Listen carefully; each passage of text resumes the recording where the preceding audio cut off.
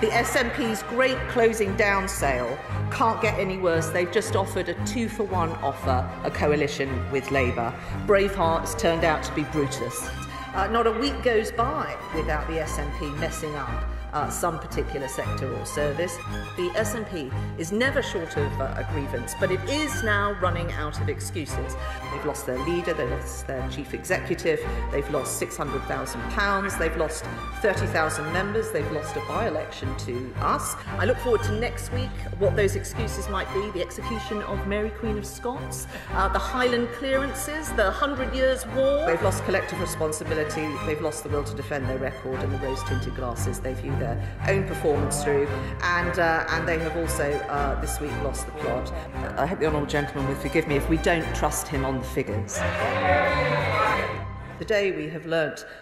also of the very modest ambition of the Scottish people to have a few miles of the A9 uh, duelled is unlikely uh, to transpire, um, despite uh, them having had uh, waited for 11 years uh, before that uh, has uh, happened. I understand the minister responsible has blamed uh, Vladimir Putin for the delay. Um, she talks about projects that are delayed and uh, overspend. Uh, this week we have had to have the Secretary of State for uh, the Department for work and pensions uh, right to the Scottish Government, uh, urging them to take up the powers uh, that were available to them uh, since 2016 on welfare. Um, at the time, they said they could create an independent state by spending just uh, £200 million, pounds, and yet the assessments for them taking over the benefit system uh, now are sitting at £685 uh, million. Uh, pounds.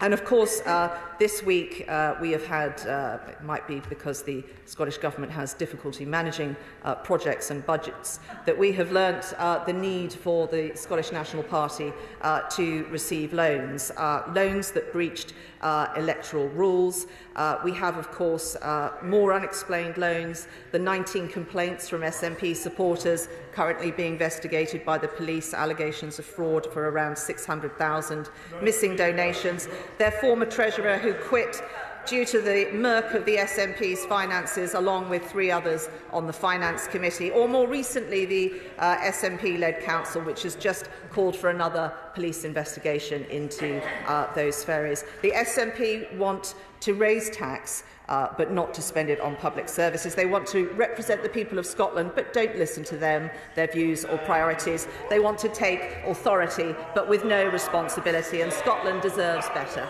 Yes, I'm afraid this is the latest wheeze from the SNP to risk jobs and burn taxpayers' money. Uh, let us not forget, this is the party that during the pandemic hired a testing firm at the cost of £10 million uh, that promptly furloughed all of its staff. In fairness to them, they did try and guarantee uh, some jobs. They paid a company um, the tune of uh, £5 million per job and then failed to secure any of those jobs. Audit Scotland said of the, of the Scottish Government it had no framework to deal with the private sector. And of course, the most spectacular uh, is the fact that they have paid the cost of 24 ferries for just two vessels. The SNP chose to use their Opposition Day debate not to talk about health or education or care or opportunity or social mobility or business or farming or anything uh, else related to the Scottish people. There were no surprises in the topic that they chose and how they used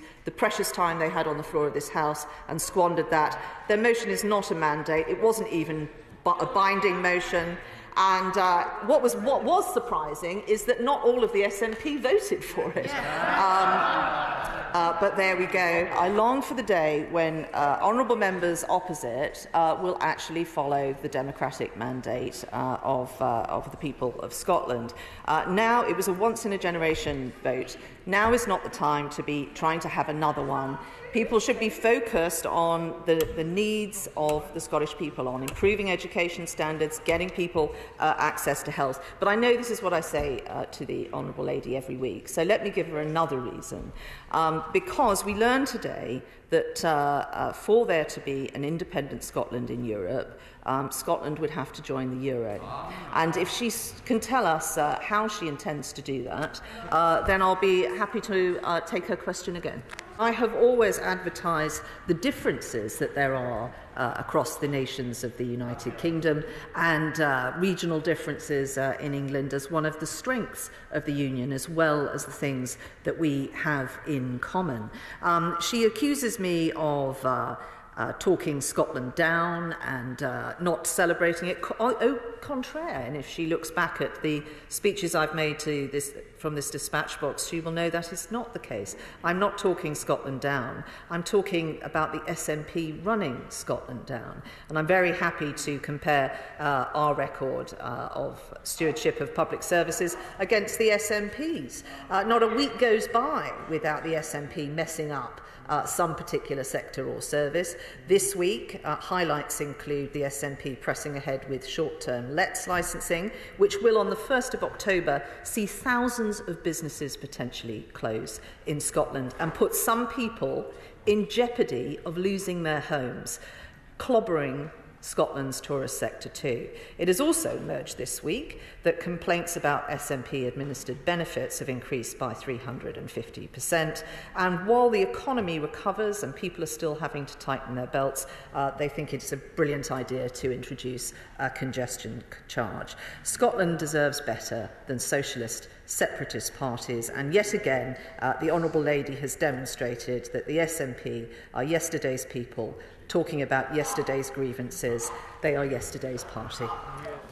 She invites me to tell uh, this house what, I, what I've learned in my very uh, pleasant trips uh, to uh, Scotland over the summer. I did learn that uh, Scotland has slower economic growth uh, than England. I was shocked to learn that Victorian diseases have actually returned to certain cities in Scotland, such as rickets. Uh, that Glasgow's rat problem is now so bad it is precluding bin men actually accessing certain streets because it's too dangerous for them. I discovered that the bill to Scottish taxpayers of the smelting business debacle stands at 32 million. I discovered that 33 million pounds that was ring fenced for Scottish farmers has gone AWOL. I also learnt that the Scottish Scottish auditors have only been able to give a qualified sign-off to the SNP's accounts. Uh, I toured other parts of the, the UK as well. I, um, and in Manchester,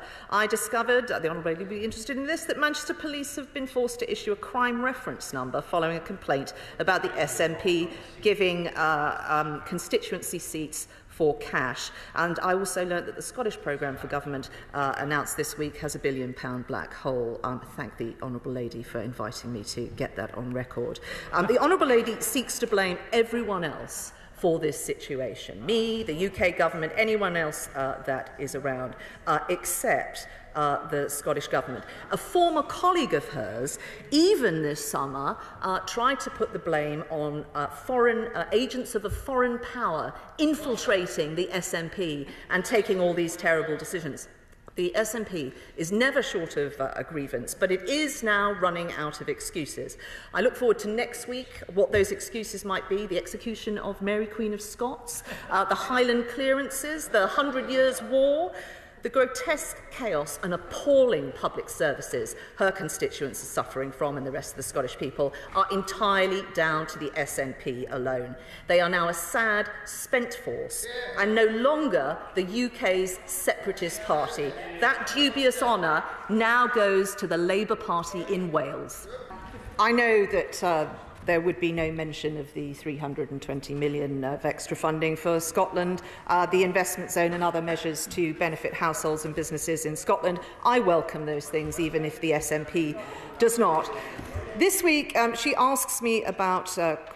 measures to assist uh, cost of uh, uh alleviate cost of living and uh, help improve uh, living standards. Uh, we have a 94 billion pound package that was uh, announced in the uh, budget Uh, she doesn't like what we have done on uh, pensions with regard to key professions such as doctors, experienced teachers. I'm very sorry to, to see that not welcomed, as I think it would be welcomed by uh, many in those professions and would uh,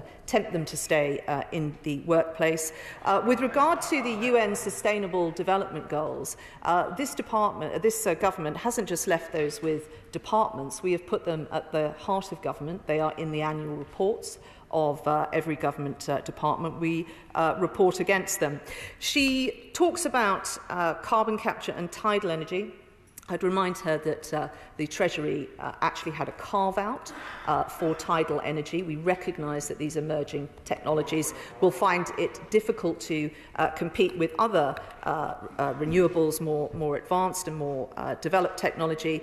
we've done that because we believe that tidal is part of the answer and we want that technology to develop.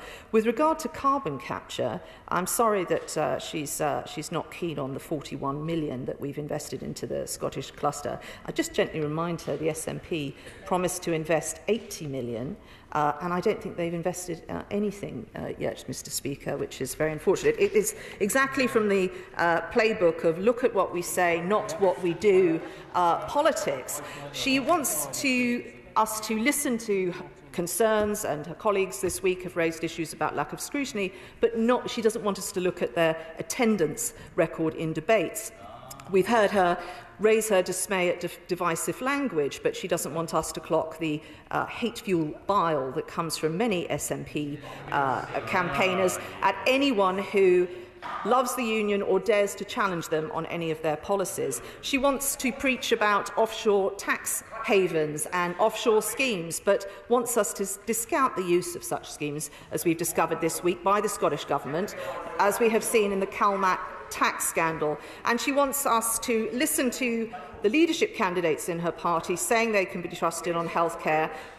that they'll turbocharge the economy and are brimming with ideas, but doesn't want us to recognise that they have crushed health, stifled growth, and need to set up commission after commission to find uh, some ideas. She would also like us to see the SNP as a champion of democracy and not look at their rejection of the referendum result. Does she not recognise the extraordinary occurrence this week of membership candidates in the leadership, the, the uh, candidates in the leadership contest, having to write a letter in order to try and guarantee a free and fair election. If the candidates were called Mo, Larry and Curly, it couldn't get any more slapstick. And given the SNP's previous form and contempt for democracy, I wonder if this contest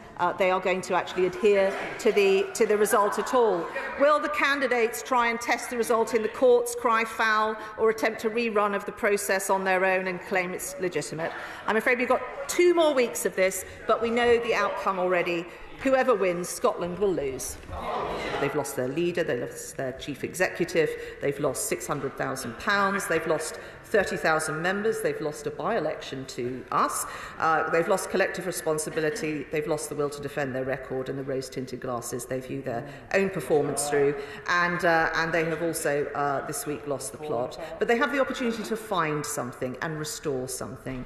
This could be a fresh start and the beginning of actually serving the people of Scotland by focusing on their needs, whoever whoever uh, is the new leader of her party and the First Minister uh, in Scotland, we stand ready yeah. to work constructively with whoever that leader is. I, I can't keep up with the changes to the SNP's energy policy, but I think roughly they're against all forms of energy, um, except perhaps hot air.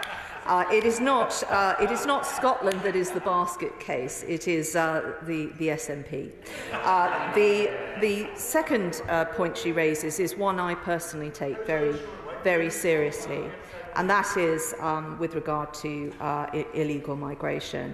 Um, like many members uh, in this House, I think on all sides of this House, I'm hosting uh, a Ukrainian refugee at the moment.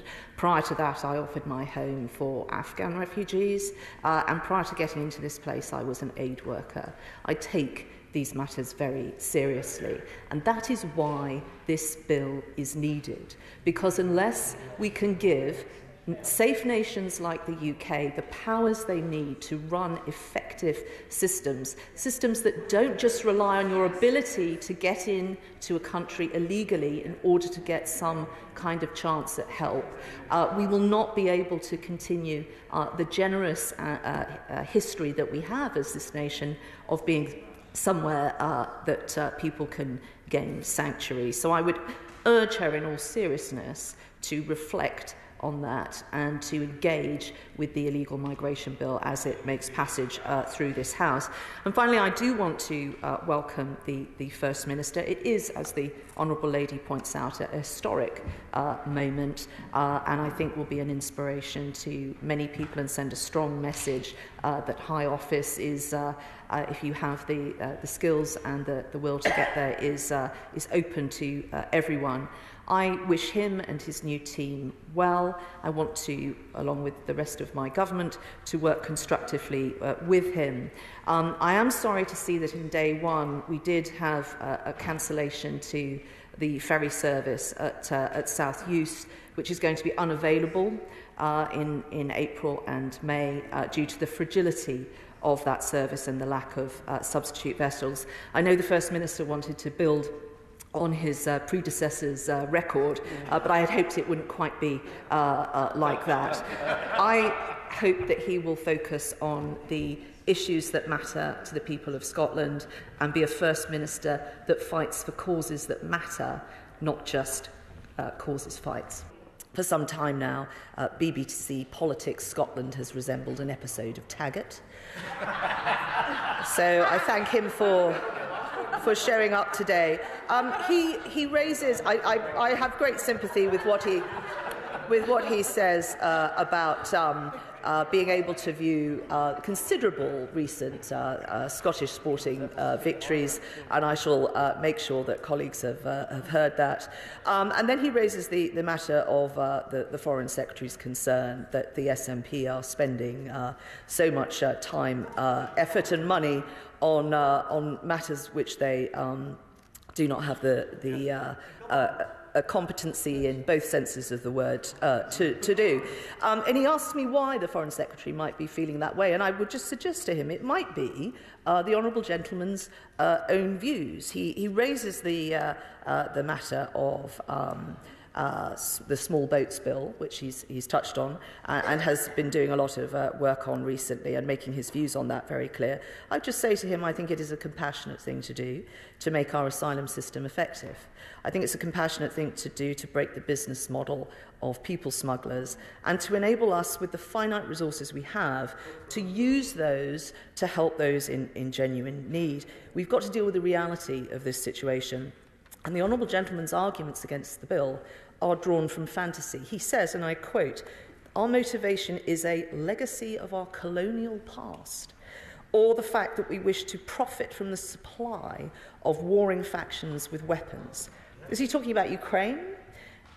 Ukraine is not a warring faction, it is a sovereign nation under attack. And I'm proud of what this country has done to support the Ukrainian people. Let me enlighten him about some other things that we should be proud of in our country rather than talk it down.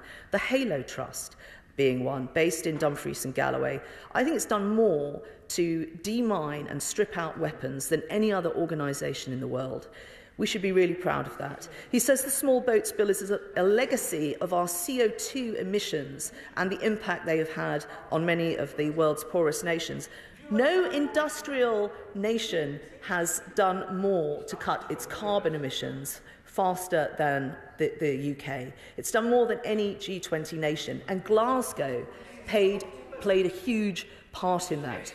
The UK is more than halfway to meeting its net zero target. I hope the SNP will stop talking Scotland and the rest of the UK down. We are going to do what is necessary in this bill and in other areas to protect the vulnerable and the planet, to promote peace. Uh, we do not pass the buck and shirk responsibility. That we will leave to the honourable gentleman in this party. I hope the honourable gentleman will forgive me if we don't trust him on the figures. Um, I'm happy to. Um, in, in, all, in all honesty, Madam Deputy Speaker, in all honesty, Madam Deputy, I'm really surprised at uh, what the Honourable Gentleman has said and his, his choice of uh, questioning today. Um, no humility, no regret, no apology. I, I think whatever our political beliefs and differences over our ambitions for the, the Union, I think there is a common understanding amongst all of us in this place of the shared values – and the principles that underpin our democracy. I hope that is the case. I will never share the belief that the, um, the honourable gentleman's uh, party membership hold on, uh, on Scottish independence. Uh, I may also disagree with uh, Lord Frost on occasion. But I do think that I understand the SNP's membership uh, ambitions and what they are they are based on because they are based on the same things that my ambitions for our country are based on too self determination, agency, moral courage, the progress of humanity, the love of country. And how devastating it must be to SNP members and supporters to have placed their hopes and trust at the hands of people who have been so reckless with their dreams the, and the mandate that they have given them. And, and now they know how many Scottish taxpayers also feel when they look at the SNP's ruinous sell off and sell out of their country. And just when you think the farce that has been going on in Scotland over the past weeks, the SNP's great closing down sale can't get any worse. They've just offered a two for one offer, a coalition with Labour.